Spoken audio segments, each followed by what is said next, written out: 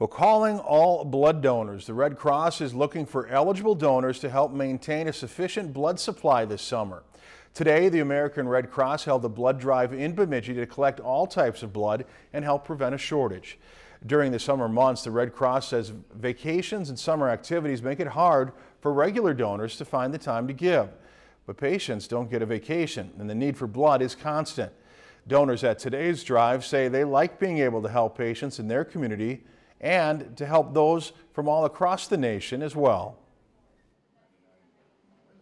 It's great to see a blood drive here in Bemidji, and it would be even better to see more and more people here.